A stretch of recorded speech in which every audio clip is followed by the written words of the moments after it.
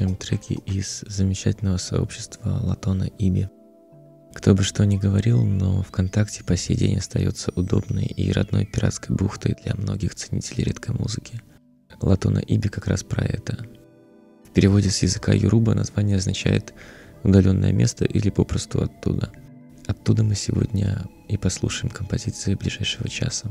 Напоминаю, что трансляция одновременно идет на канале Docs Music Therapy и в инстаграме Ritual Dynamics. Всем хорошего вечера в эфире Храм Underground.